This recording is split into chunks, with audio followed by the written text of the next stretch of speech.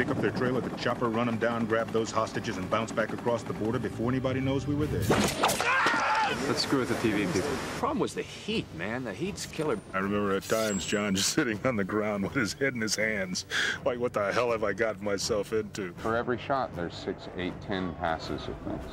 So this was our day. It was like 14 hours of work. It was a real boot camp. Pure hell. I got to go back 15 years and relive everything, except this time to enjoy it and not worry about having to die.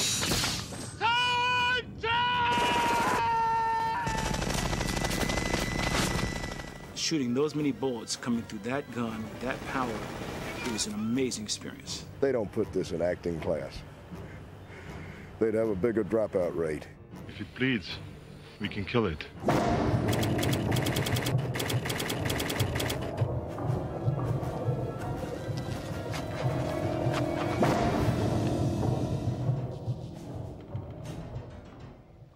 We had an idea about doing a story about a brotherhood of hunters who came from another planet to hunt all kinds of things, but we realized very quickly that wouldn't work very well, so we picked one hunter who was going to hunt the most dangerous species, which had to be man, and the most dangerous man was a combat soldier. It's one of those simple ideas that once someone has the idea, everyone else says, oh, why didn't we think of that? It was a spec script. Thomas Brothers, you know, two first-time writers at the time, basically couldn't get anybody to read the script, didn't have an agent, slipped it under a door of an executive, Michael Levy, at Fox. Michael read the script, shared it with me and the rest of us. Larry Gordon was head of the studio at the time, bought the script, okayed the script going out to Arnold Schwarzenegger. I went and got John McTiernan involved in the process. I had seen his picture. We needed a, a fresh voice. And um, Larry Gordon invited Joel Silver to come on and produce it. Joel was the hands-on producer on set. To this day, he still maintains an almost uh, overwhelming presence on the set. A lot of producers, they sort of sit back, they get a line producer, they serve as a sort of creative liaison between the studio and the film, but they don't get their hands dirty. Joel always has gotten his hands dirty by really getting into the muck of the film. Let's lock off this, get a hi-hat or something on that one. I was very happy when they offered it to me. I wanted to do an old-fashioned popcorn movie. And that's what this is. It's meant to be entertainment, and it comes at it from a direction that I had some experience in, which is out of suspense. John McTiernan is a really wonderful action director. He has an ability to take a script and infuse it with both a sense of energy but great storytelling. And so he's a really wonderful storyteller, which is really what you want in a director. John McTiernan has a tremendous ability to visualize the film in his head and just go get that film. Not waste any time, not bullshit around. John McTiernan is an actor's director. It's not just some, you know, director who's just trying to make pretty pictures. It's he has a motivation for why this particular scene should be this way and what your character's motivation should be. He's very sure, very sure of himself. You guys are all around. I'm going to have to be careful the next couple days, aren't I?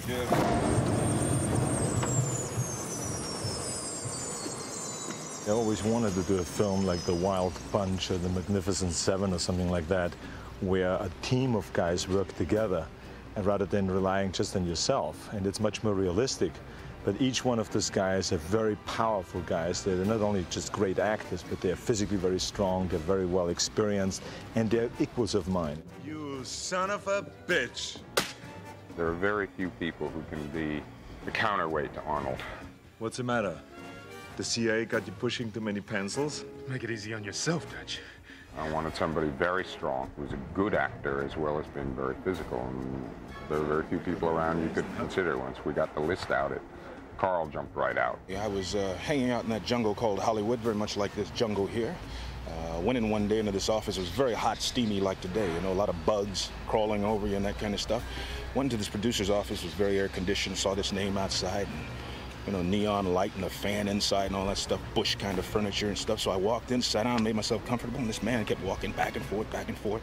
Finally, he was introduced to me, Joel Silver, the producer, and he comes up to me and he looks at me and says, Hey, kid, you know what? I got a place for you. I got a movie for you. I want to do a movie about boxing. But before I do that, I've got another movie in the jungle. You look like you belong there. How about being in this movie? I'm gonna, I'm gonna make you famous. I discovered you, just like every other producer I've met right over the past 15 years. They discovered. I said, Sure, sure, sure. I'll do this movie for you, right?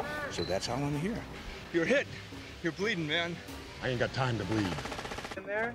I play a guy in this by the name of Sergeant Blaine, and Sergeant Blaine is a 250 pound, shall I say, killer who chews tobacco. Bunch of slack-jawed faggots around here. This stuff will make you a goddamn sexual tyrannosaurus. Just like me.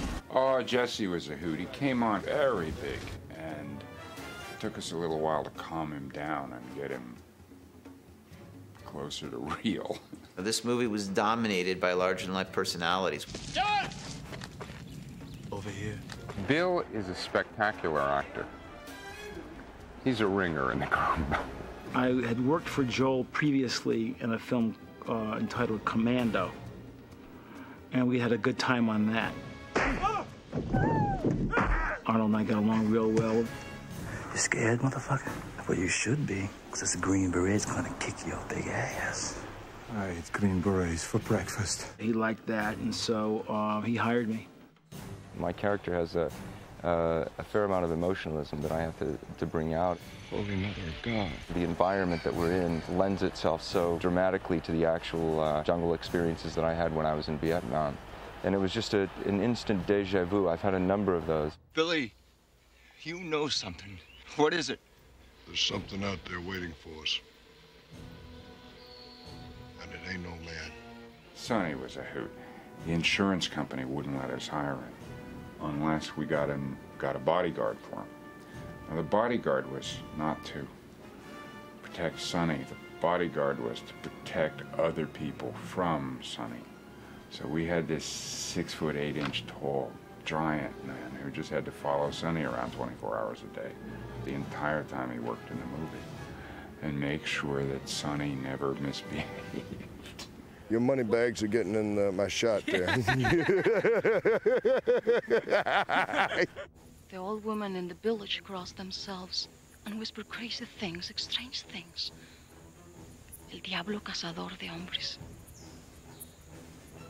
The demon who makes trophies of man. I never say a word to Elpidia because her own intuitions are so good. She knows much more about the character than I do. Elpidia is a surprise, a delightful one. And go back up, Shane. See if you can get your head square out so you can look straight down. Predator was sort of concurrent with this other movie that I had done, Lethal Weapon, that I'd written. So does it look like blood? Joel had asked me, do you want to do a draft of Predator? The studio's scrambling and they'd like to kind of uh, uh, get a different, different version. I didn't want to, but he said, well, you just come down to Mexico with us anyway. We'll put you in the movie. So the idea was hatched. We'll hire him as an actor, and when he's there, stuck in Mexico, we'll give him the script and we'll make him rewrite it. So you cooked up a story and dropped the six of us in a meat grinder. I did nothing on the script. It turns out what the studio did, as they always do, is they took the original draft and just shot that. They go all the way around the circle. They get seven different writers to do a version, and then they'll go back to the original draft. Well, all the way through this, I was stealing a Robert Altman technique of if you can get actors who can bring something to the table, and then turn them loose. I keep my mouth shut about it, but I actually came from theater. So I like actors. Studio executives think that what they want was guys who love cars and guns and stuff like that. We got to get a guy who loves cars and guns to do an quote action movie. So I would sort of hide the fact that I maybe ever knew anything about actors or that I liked them or anything like that. I, cars and guns, love cars. It was one thing that John McTiernan was real on target with in regards to bringing us down here a week prior, and it helped out immensely. We brought in a military trainer with them. Oh, we had uh, Gary Adolf Goldman. I nicknamed him Adolf. It was a typical training for the way that Army soldiers move in the jungle, the way they deliver hand signals to one another. Joel said, "Hey, Bill, how'd you like to go down and spend eight weeks in Puerto Vallarta?" And we thought, oh, this will be cool. We'll go learn to be like soldiers, kind of move like soldiers. Actually, it was kind of miserable and awful, and I got bee stung, and I got this and that. So their rehearsal period was, see you guys, you report to the truck in the morning, we're driving you 20 miles out, and you walk back. Gary really, uh, uh, in my mind, made a lot of things work that weren't in script necessarily, but we had a real feeling and a sense of camaraderie and what we were after, and also a sense of the how to do. You know, with a really realistic uh, selection of guns and a really good weapons advisor and a good military advisor, um, you know, it lent an additional sense of realism. We had to take in one week and teach these guys how to make themselves look like combat veteran special forces soldiers. Jesse was a Navy SEAL. He didn't need the training. He cakewalked through the training because he's such a tough guy, you know. I'll put it this way I wouldn't want to go in real with these guys, but I'll definitely do a film with them. I know Jesse. Jesse voiced that opinion a couple of times. I don't agree with that. First morning I was there, Arnold says, hey, we're going to go to the gym and work out. There was a subtle sort of competition, I think. Get up at four in the morning because you want that pump, but you don't want the other guys to see you getting that pump because when you walk onto the set, you know, and you look that good, it's got to be natural. You can't work out that hard. You know, nobody does. Uh, God just blessed you, you know. And so at 5.30 in the morning, Arnold's knocking on my door going, get up, get up, we're going down to work out. And they would run for an hour and a half. Just run the hills of Puerto Vallarta. So I get up, go downstairs with them to work out, and they proceed to torture me. They work out for another 20, 30 minutes. They eat breakfast and get on the bus and go up into the interior. Arnold's going, more reps, more, more, more. You know what I mean? He goes, what are you, a wussy? Pick up that weight. After we finished work, they would come back, I'm not exaggerating, and run another hour and work out for another hour, eat, and then go to bed. Every once in a while, you know, you'd walk in there, of course, and there'd be another guy or two guys over in the corner pushing some iron, and, you know, I did a couple of times. You know, I walked in there and said hi to them and looked around and said, what are you guys doing? And wow, man, you guys are really working hard. And walk out, go find a place to get some coffee, wait till they're gone, and then go in after they're gone, you know. Give nothing away. Give nothing away. Well, two hours later, I couldn't move. I was completely unable, stiff, whatever. But not been more pain in my life. Um, Arnold was taking great pleasure from this. The biggest thrill for me was when we hit wardrobe. And I happened to view Arnold's wardrobe tape, and when my arms taped out one inch bigger than Mr. Olympia's, that made Jesse Ventura feel pretty good. Well, I'm very happy about that because then my joke worked. Because I told the wardrobe department they should tell him that. So I can bet him a bottle of champagne afterwards when he comes to the gym. He came to the gym two days later and he says, You know something, Arnold? We should measure our arms. Who has bigger arms? I said, Of course we should. I said, Let's bet a bottle of champagne. He says, Of course we should. And then we measured it and my arm was three inches bigger than his. What the fuck? And he lost a bottle of champagne. So, I mean, you know, the psycho trick trips, uh, they work on everybody, on bodybuilders and also on wrestlers. It was good. Seen some badass bush before, man, but nothing like this. I hear ya. This shit's something. Makes Cambodia look like Kansas. Well, in an action movie, geography is tremendously important. Physical proximity or physical relationship is, is often at the center of, of, of a physical conflict. We've spent whole days working on hillsides that were, you know, like this. Oh, and I'm still walking around with a nearly broken wrist. Um, I was climbing looking for a camera position, and the tree I was on broke and dropped me on my head. I think if you check with some of the other publicity people, you'll find there's a picture of the director sticking in a pile of rotten roots with his legs up, and that's it. The physical thing every day, there's no, you don't find yourself even sitting down. I mean, we had to prop this chair up so I could sit straight, right? Standing, you can't stand anywhere that's flat. It's always on an angle on a hillside. So even between the shots, you still have to, you know, it's still tension. It's always tension. Visually, you've, you've got to create that whole environment that will put people a little on edge. It's a major minefield, and Don guided me through the minefield. I will be forever in his debt for that. All the uh, accoutrements of gripping equipment and lighting and all the rest of it had, have had to be hauled up and down hills endlessly. actually very, very heavy, real jungle is cinematically not very interesting because you can't see anything. You know, your, your horizon ends at about four feet. We would wind up going through and trimming out leaves, not doing any damage, trimming out leaves so that you could see through at some distance. If you look at Predator just as a design of a film, it's extremely well designed. We've had to use the environments that, that John and uh, the producer selected for us and, and basically make those work. And we've had to build some trees. We've built four or five uh, trees out of styrofoam and fiberglass to try and get some of the scale uh, back into the jungle, some of the, the big root systems and the, um, the, just the large trees that you don't find in these areas.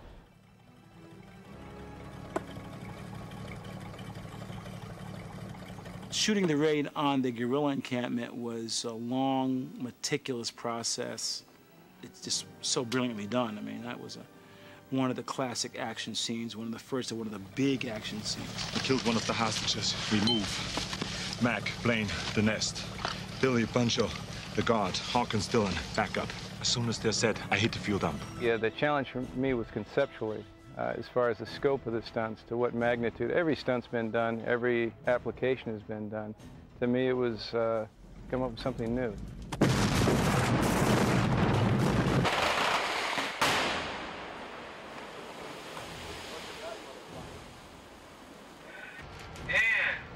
Action!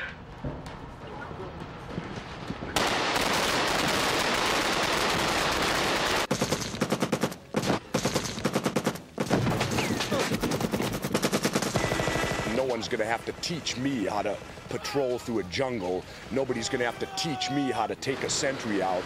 And nobody's gonna have to teach me how to fire the most awesome weapon, handheld, the world has ever seen. Jesse had that huge Gatling gun, which makes so very little sense. I think it fires somewhere around the range of three, oh, three to 5,000 rounds a minute. When this thing went, it was like the people were all set with their cameras, but no one took a picture because it was like. And they all just stood there. The cameras came down, the mouths dropped open. It was like everyone just. And that's a cut. Put him out. That's a... Sergeant. Sergeant. Who get us today? I don't know. I only saw one of them camouflaged. We never really saw the predator and that's the wonderful one of the wonderful things about that movie i mean we saw even when my character is shooting and the arm goes off and all that sort of stuff y- y- what my character saw was this this sort of apparition that looked like the plants but he saw the movement When you design for visual effects, there are many more parameters that have to be considered than just the camera in action.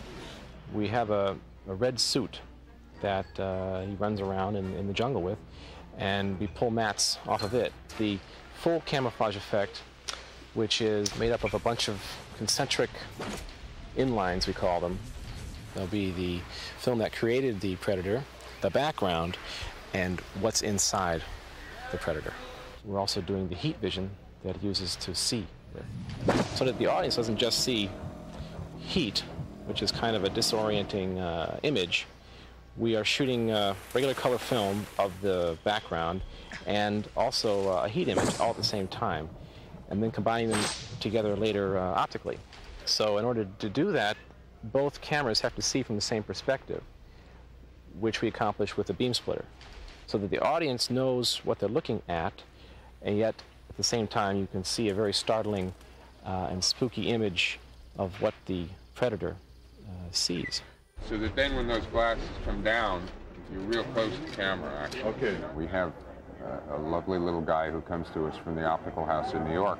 He takes measurements of everything, and, and the angles and this and that, and the, uh, you know, he's got a protractor alongside the camera and a, a surveyor's transit, and he checks absolutely everything and says, no, you can't shoot that, you can't shoot that. And he runs up and measures this and measures that. Uh, and three hours later, he says, all right, maybe you can try it. And that requires sometimes, uh, as I, six hours to shoot one three second cut. We had to go off and start shooting the movie, and the uh, They had been, they were late turning out the Predator, and we all were desperately anticipating. It's coming, it's coming, it's coming. It's, it's here today? No, tomorrow, tomorrow, tomorrow. Finally, the day it arrived.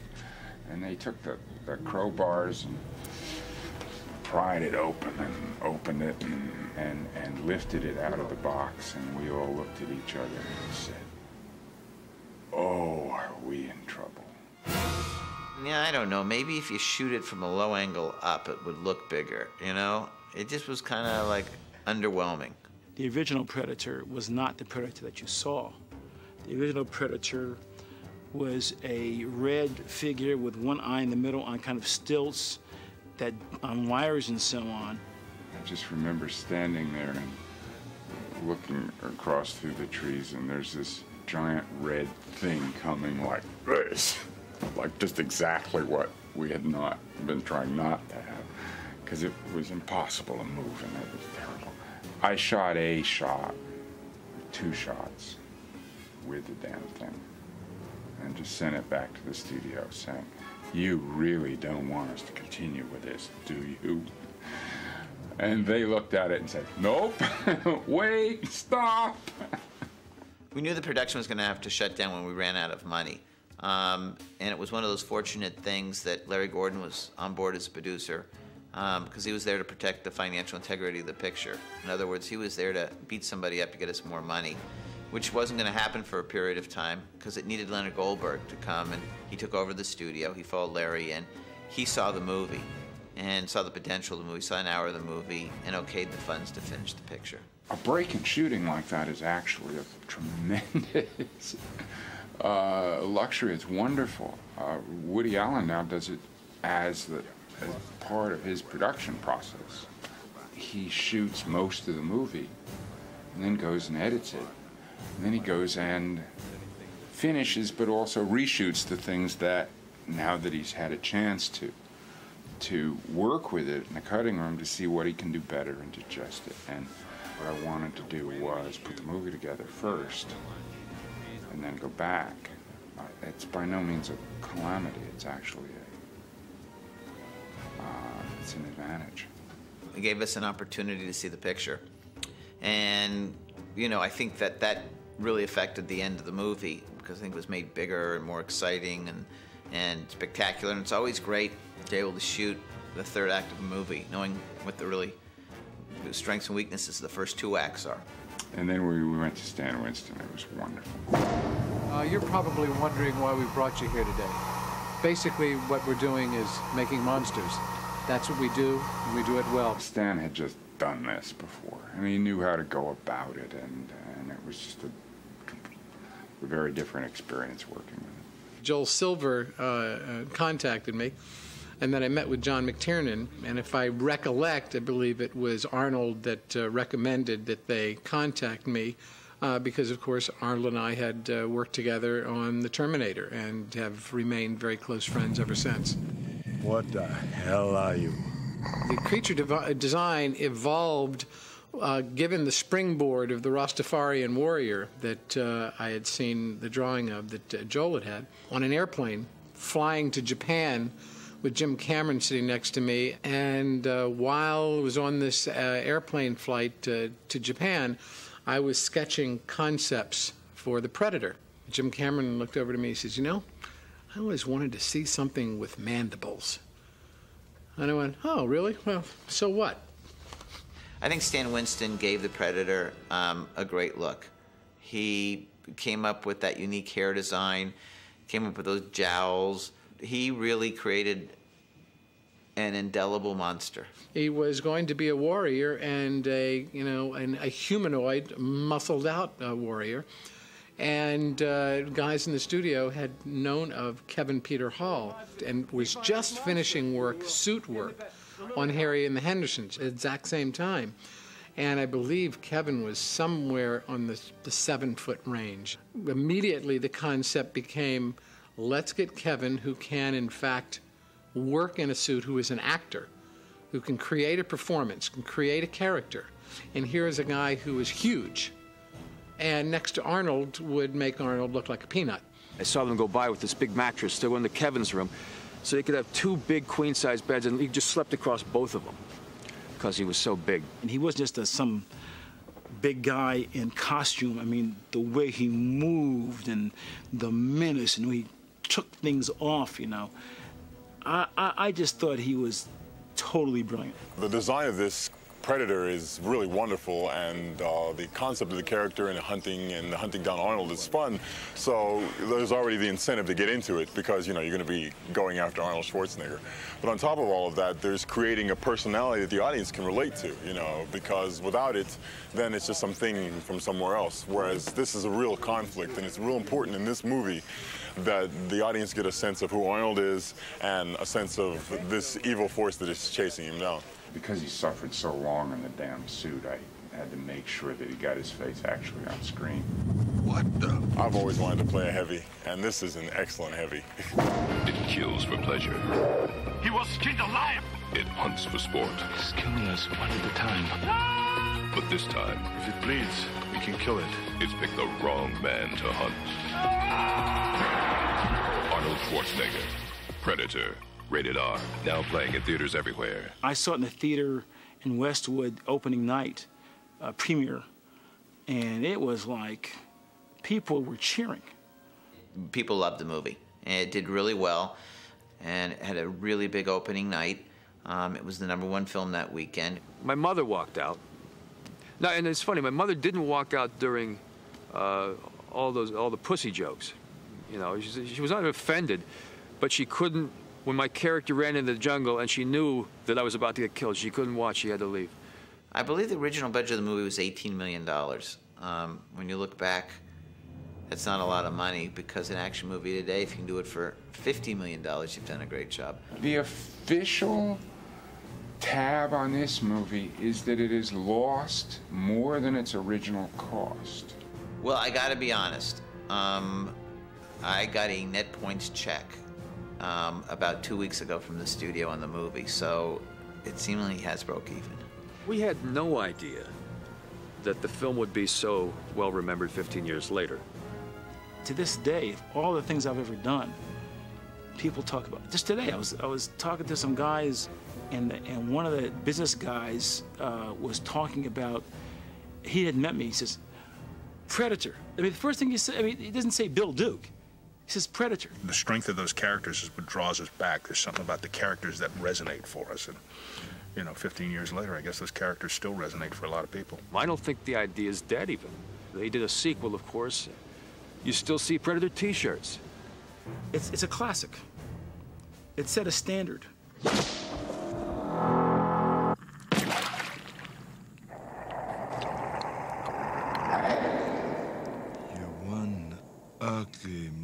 Motherfucker.